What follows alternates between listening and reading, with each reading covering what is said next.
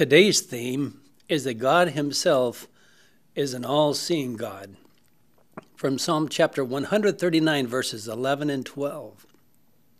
Verse 11 If I say, Surely the darkness shall fall on me, even the night shall be light about me. Verse 12 Indeed, the darkness shall not hide from you, but the night shines as the day. The darkness and the light are both alike to you. Now, we've already studied two different characteristics of God God is omniscient, and God is omnipresent. So he knows everything and he's in all places at the same time. Now, this third one is that God is an all seeing God. Now, the first and third characteristics are related. God is all knowing and he sees everything. Now, as I looked at these verses, it made me think of the Army.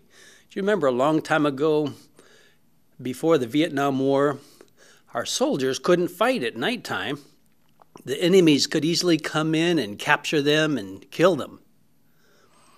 But during the Vietnam War, they began to develop night goggle for night vision so that the armies in Iraq and Afghanistan, our soldiers would have that helmet equipment with the night vision goggles.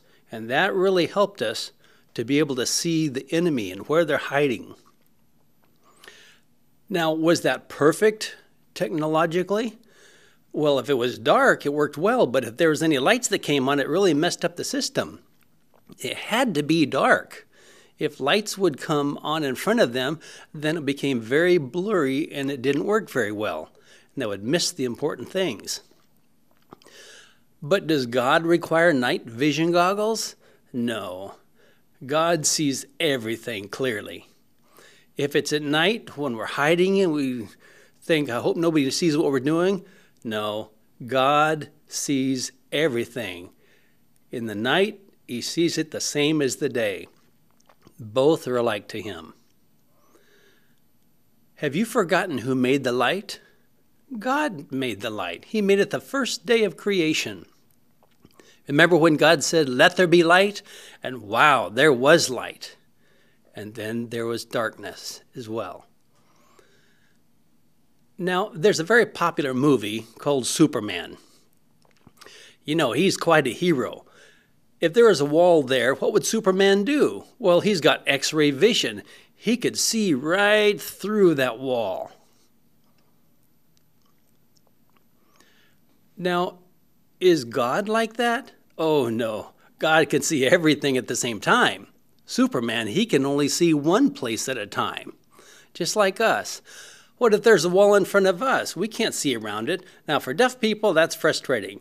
But if it's a window, oh, then we can communicate fine. But with God, there is no limit. He sees everything. Tomorrow, we'll discuss more about God as Creator.